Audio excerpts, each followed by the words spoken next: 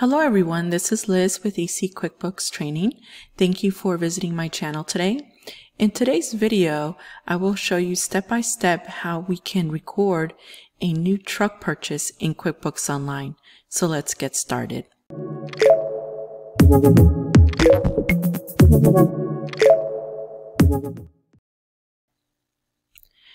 Before we record the new vehicle, we need to have a couple of items. We need to have a purchasing agreement and we need to have an amortization schedule. Usually an amortization schedule um, is given by the finance company and it's separate from your monthly statement. Other finance companies will have the monthly principal and monthly interest broken down on the statement. But if you don't have any of these two, in the description below, I have put a link to my amortization schedule in Excel, and I will show you how to fill this out using this sample. So let's go to um, QuickBooks and let's start recording uh, the two new accounts that we need to record this um, purchase. We need to have a fixed asset account and I have created one already. This is for the 2020 Ford van, cargo van, and I usually put the last four VIN numbers at the end as well to identify the vehicle. And it's a fixed asset account type and detail type is vehicle. I also have a long-term liabilities account because this is, um, this note is longer than one year and I have it under detail type notes payable. Same description. Now that I have my two accounts set up, I can go and get the information from the purchase agreement. Usually I get the cash price and any fees associated with that, like sales tax, uh, vehicle registration, anything that is all included within the total or subtotal price. So in this case, I have to record 41,675 uh, 675.69. So I'm going to do a journal entry to record that. And I'm going to select the date of 010121. Oh, let me try that again, 010121. And my first account um, will be the fixed asset account. I'm going to debit this account for 41 675.69. My description is going to be to record purchase of 2020 cargo van.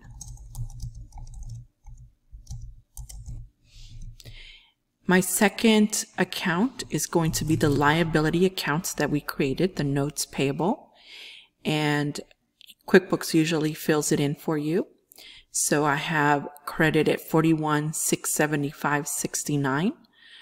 And same description, I'm okay with that. The next step is to record um, the down payment. So if I go back into my purchase agreement, I show that this vehicle had a manufacturer's rebate of 5500 and a cash equivalent of 5000 Going back to the journal entry I did, I'm going to record the 5500 against the same two accounts, lowering my total cost of the vehicle. But the first account that I want to enter here is um, my debit account would be the liability account. I'm going to lower the liability account by 5500 and I'm to delete that and put to record oops, rebate of 2020 Ford cargo van. And then in the next line item, I'm going to put the liability account. I'm sorry, the fixed asset account, not the liability. So it's going to credit that. Save and close. Um, this is looking good. Let's now record the check that I used for the cash equivalent. It's going to be a Ford dealer And for my category, I'm going to put the liability account, the notes payable. And it's going to be 5,000. It's coming from the checking account. Save and close.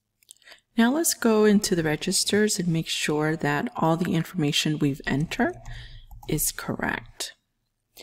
Let's go into our fixed asset first.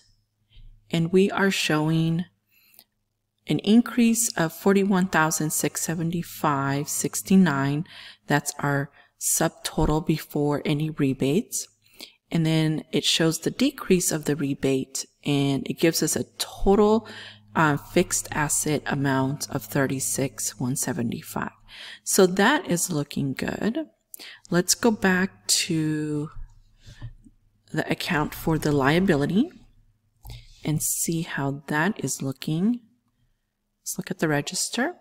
So we have the 41,000, uh, which is the initial total purchase with the two decreases, um, which is the check that we gave, the cash equivalent and the rebate, making our amount financed of 31 175 69 and we can confirm that and make sure that that is the correct amount we need to have on there by looking at our purchase contract here and it says 31,175.69.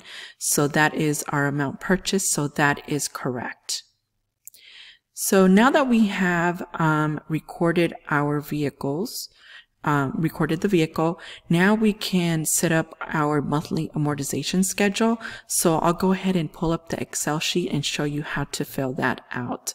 But before I do that, let's uh, quickly go into uh, the balance sheet and see how these two accounts um, are brought up on the balance sheet. So we see under fixed asset, the cargo van, that is the correct amount. And then under long-term liabilities, are notes payable, we see 31, 175, 69. So it looks good on our balance sheet.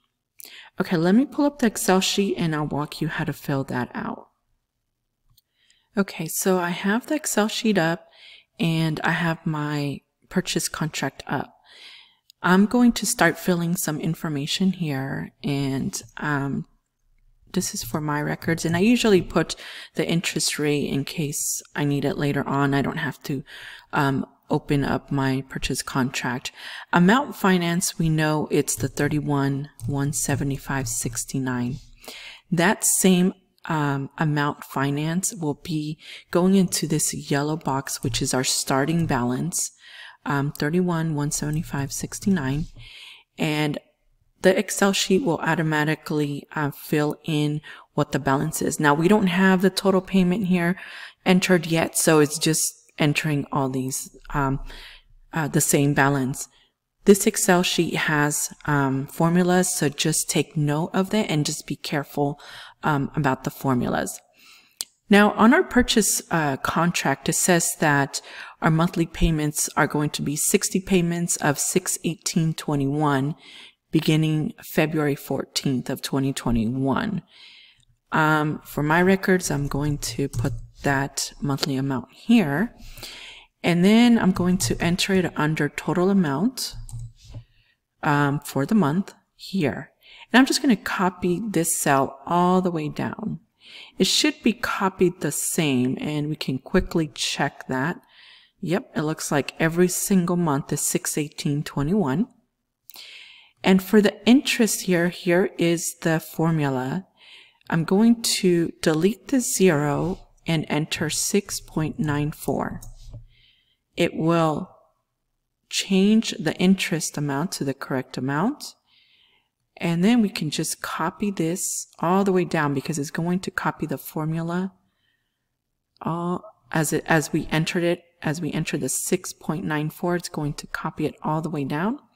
And as you can see, the balance, um, the, the balance are, the balance is changing per the, the amount that we have here.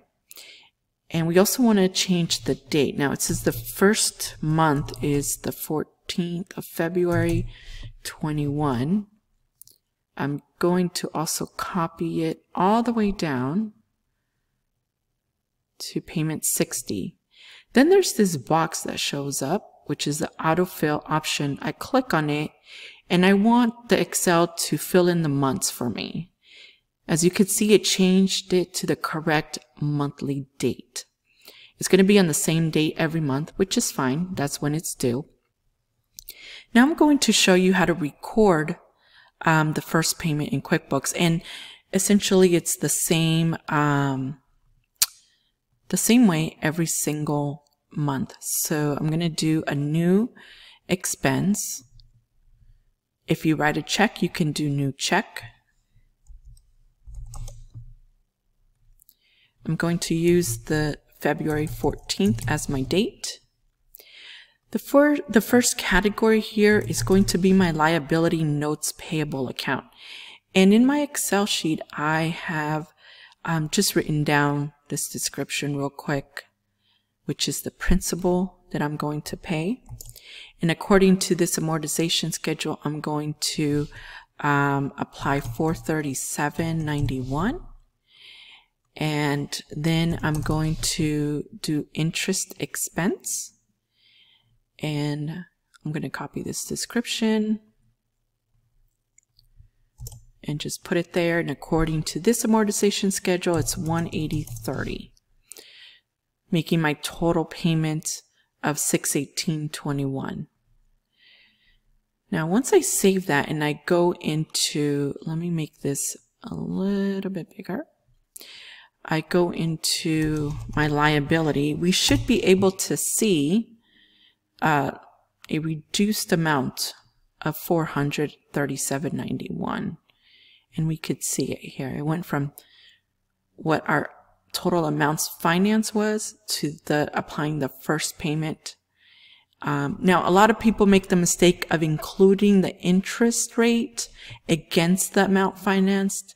The interest rate is does not lower um, the amount financed. That is that goes on your profit and loss, and that's an expense. The interest is an expense. We only want to apply the principal amount here.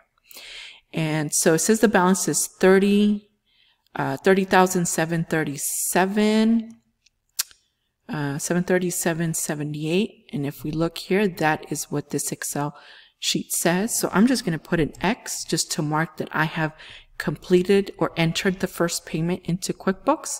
And I'll wait for the next month and enter and do the same um, expense transaction to keep lowering my um, liability balance. I hope that this video has helped you. Please don't forget to subscribe for more how-tos, tips, and tricks and troubleshooting for QuickBooks. I will see you on the next one.